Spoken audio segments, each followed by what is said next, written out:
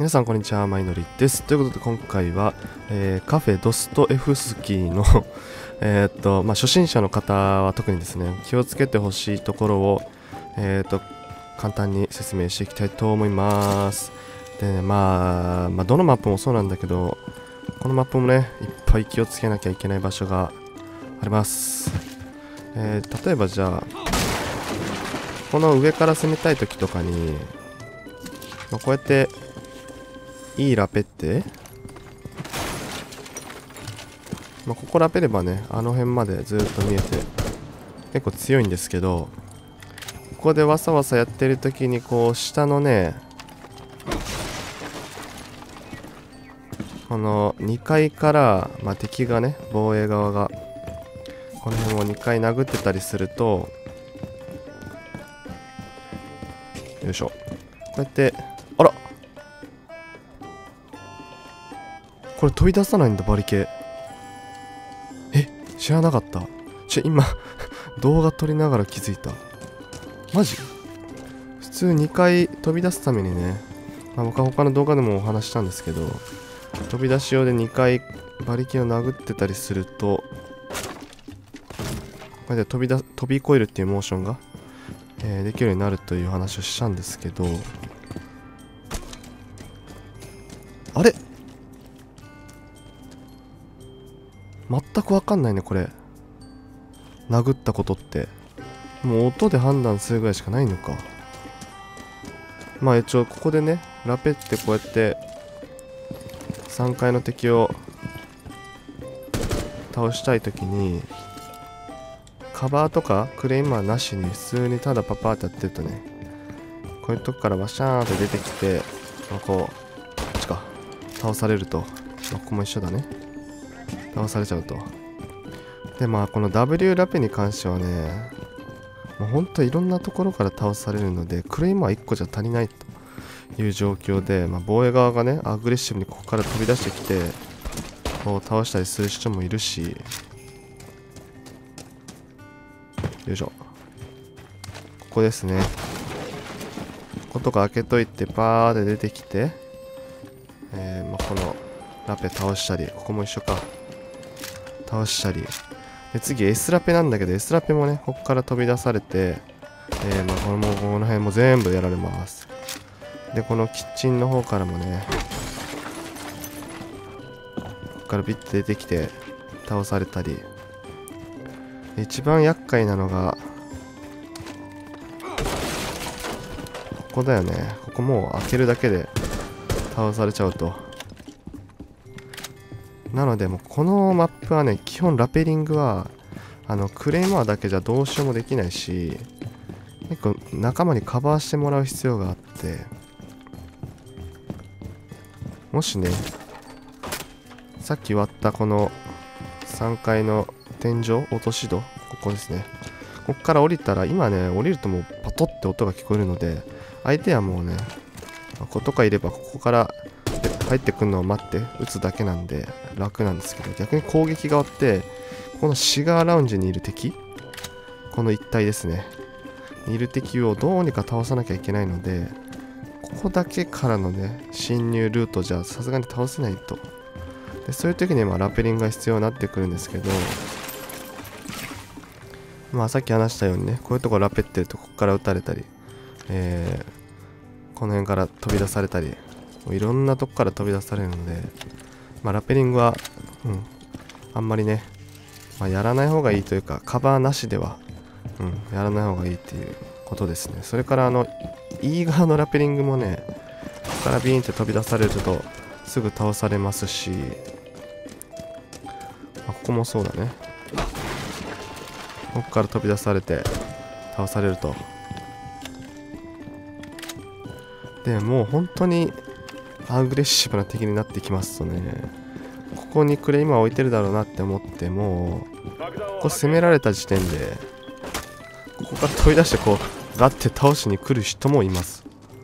それぐらいこのマップはラペリングがかなり難しくて1階からも飛び出されるし2階からも飛び出されるしもう3階の馬力からも飛び出されるしみたいな。なのでこのマップでラペリングする際は飛び出しがいないかとかはもう十分に気をつけてえー欲しいと思います。それからですね、えー3回攻める際にもここからね、えー攻めたいと。そういう場合によくねまあ皆さんやられたことあるかもしれないんだけどさなんか例えばもうこことかでこうここ全然見えないじゃないですか。でもこの辺打ってる人いますよねよく。まあこことかも一緒なんだけどこんな感じでずっと。これねなんでここ弾通せるようにしたのって思うかもしんないけどこれねこれ弾通るんですよねここ。ここまでほら。なのでここに立ってるとちょうどねこれ向こうから撃たれます。うん。なのでもし敵がねなのでタップ打ちとか単発打ちとかでずっとブンブン打ってる時は大体えっと向こうからここの車線通して撃ってます。なのでこういう感じで容易に入っていくともうここの時点で撃たれて頭抜かれます。うん。それ気をつけてください本当に。向こうでのんきに立ってるやんとか思ってると意外とここにね入った瞬間も頭ブンって抜かれたりするので、えー気をつけてください。であとまあ防衛側でねこことかいるとこの壁も弾、えー抜けますのでこんな感じで。もしね敵がここでずっとエラとかが待ってたりバルキリーとかがショットガンでもいいんだけど待ってるならもう思い切ってねここ決め打ちしてもらえれば多分死んじゃうと思うんで、うんそういうことも、まあ、知識として覚えていてください、えーそれからあのー皆さんね上からの車線って確認したことあるかな？一応初心者向けの動画なんで今回。えーちゃんとねこういうとこも確認していきたいんですけど。まあこことかはね普通にえーこの辺まで弾が通るとまあ一旦撃ちますね。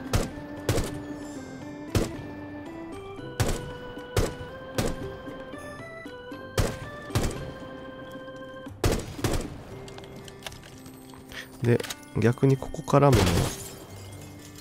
この辺まで全部弾が飛んでいくと。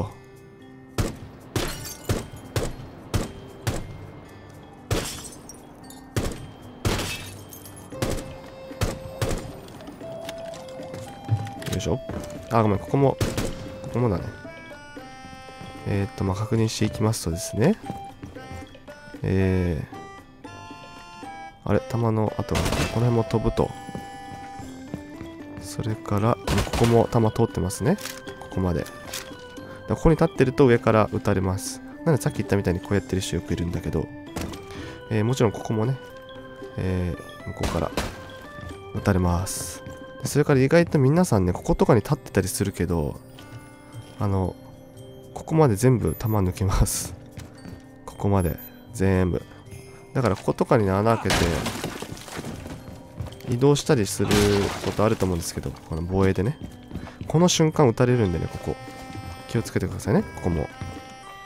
うん、意外と確認しない人からすると知らない車線ですね。あとここもほらこの辺ね弾飛んでるけどここまで飛んでるね。ここに立ってると上から撃たれますね足。ここ。この辺まではもうずっと撃たれるので気をつけてください。そんなもんかな。うんまあ、とにかくこのマップはほんと飛び出し思いっきり注意してもらって。うん。あの、まあ、カバーしてない状態ではあんまりラペリングしない方がいいかもしれないですね。で、えー最後にねあの今言ったみたいに天井？あのー吹き抜けというか天井からこう見てる敵を倒すにはもう先覗きで、まあ、こういうところとかもそうなんだけどえー敵がここを覗きに来るのを待つと。で覗きに来た瞬間頭を打ち抜くとか英語とかだとやりやすいかもね。あここもそうだよね。ここ。ここに顔を敵が出した瞬間に倒すとか、うんまあ、ビアードとかだと きついけど、うん、こことかでもう勝負すると大体負けちゃうので。先覗きでこういうところをミリで、えー見とくとかがまあ強いんかな。だから逆にね上の方から自分が上にいて下の敵を撃ち抜きたい時とかは意外とこういうところでね、えーもうミリで見てて、えー撃たれたりするので、まあ、攻撃側防衛側ともにねここは注意した方がいい。とこですね、えー、ということで今回は基本的に3階の話かな、うん、になりましたが、えー、一つ一つ、えー、知らなかったことを覚えていってまあこれからねステップアップしていってください。ということでここまでご視聴ありがとうございました。また次回の動画でお待ちしてます。バイバーイ。